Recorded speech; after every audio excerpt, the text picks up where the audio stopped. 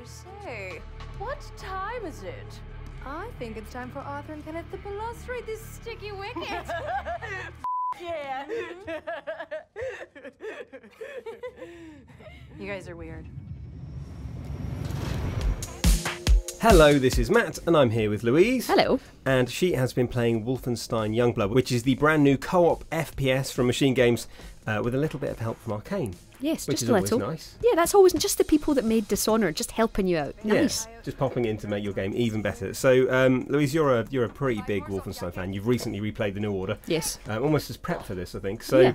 Um, like top line stuff. How is this different? And um, I, I think primarily, like, how does it feel that's different because of the characters? So obviously, over the years, we've played as B.J. Blazkowicz, uh, who's been murderizing Nazis for a long time now. Um, obviously, uh, the Nazis took over everything. They won the Second World War, which you know sucks. He woke up and that happened.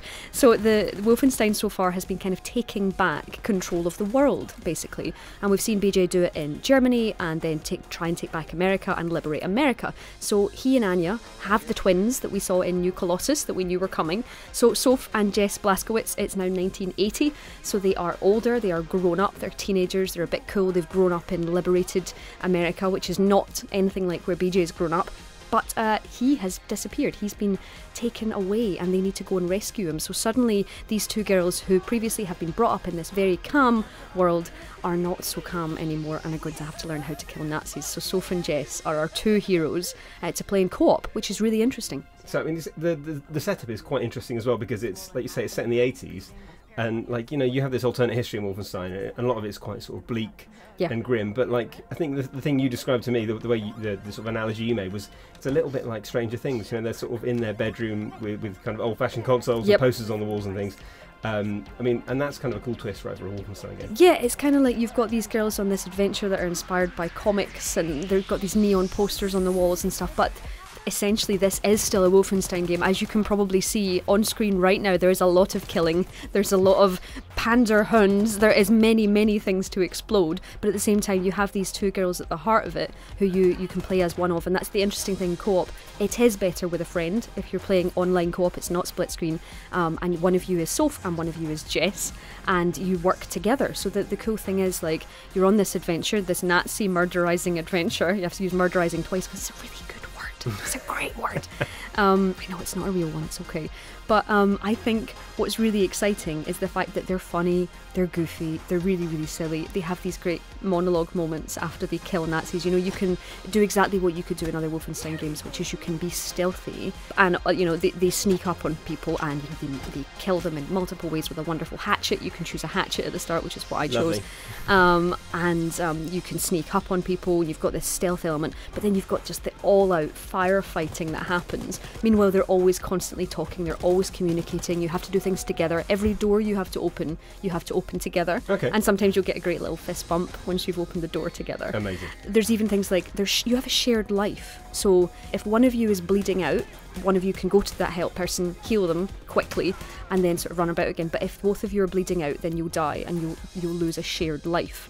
Now, these shared lives can be found in crates around the place, which you have to open together. So you can't just do things on your own. So you have to go over, you've got this lever, and then wait for your other person to come over and they'll bring it over with you. But um, it's this doing everything together is di- very different from the previous Wolfenstein games where you felt like very much a god, but now you are two miniature gods. Both, but you need to work together. Let's go then, little Miss Blazkowicz. Just do what Mom and Daddy would do. So on the back of that, Louise, obviously there's loads of co-op. Um, like, can you play it alone, and how does it feel when you do play it alone? So y- I've, I've done both. I've played with a friend and I've played alone. And thankfully, unlike many games where an AI companion can be really annoying, uh, whether you're playing Soph or Jess, your other person is really quite helpful. You know, if you're being stealthy, they'll stay stealthy. Um, they'll always arrive at the right minute to open doors with you or do things with you, so that you don't have to wait around. Because that's the most annoying thing, isn't it? So Absolutely, yeah. they'll always um, they'll always come to your aid when you need to. But I think, and, and I think this is the big focus, is they really want you to play with someone. They Mm-hmm. really, really want you to play together. And it is a significantly different game, and that co-op element obviously has something very different as well. Um, but we haven't talked too much yet about um, what Arkane brings to the party here. Yeah, so This is a very different Wolfenstein game because previously your Wolfenstein games have been very, very linear, right? So you've you've been you, you've had a little bit of freedom to go in whatever way you maybe want to do something, but Arkane have really added this element of you can opt to do things different ways. There are obstacles, there are much bigger open areas, and that's another thing.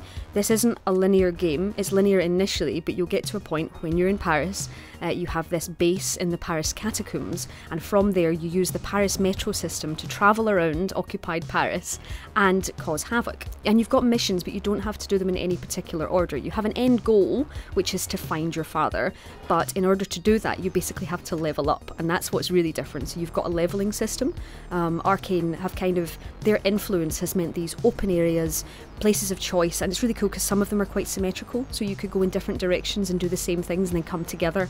So there's these kind of almost these butterfly elements to some of the level design where you can both go in two different directions, use takedowns, do whatever you do, meet in the middle and slaughter people even more.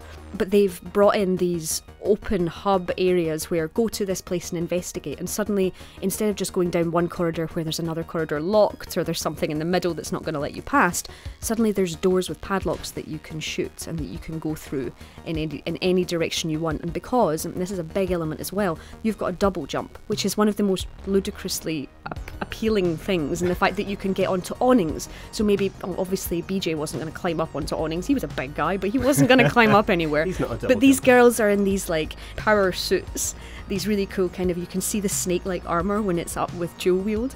Um, and they're bouncing around all over the place using these double jumps, reaching new areas. So you've got all this modern Nazi industrial architecture, but it's also combined with all the lovely Parisian buildings. So you've got these beautiful buildings, but also what the Nazis have done, and it's really fun to explore the verticality of that.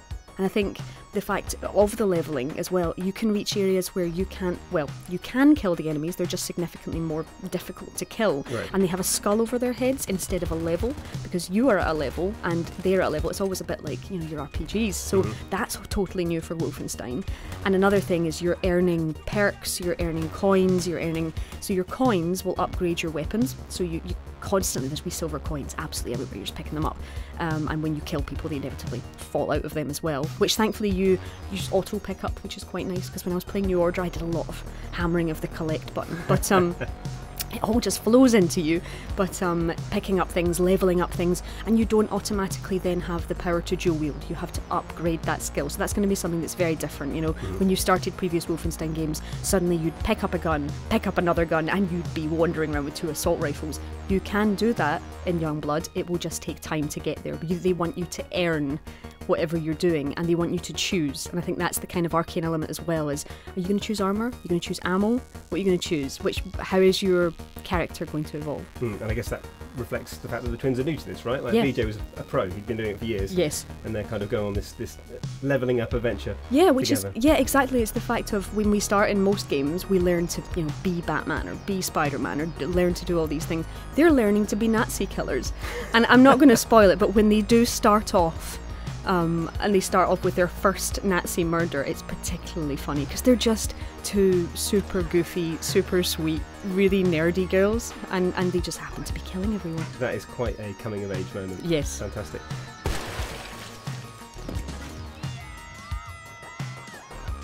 Obviously, it's out now. If you've got any questions about Wolfenstein Youngblood, please pop them in the comments below, and Louise will try and answer them. And don't forget to subscribe to the channel and hit the bell so you know when our next video lands.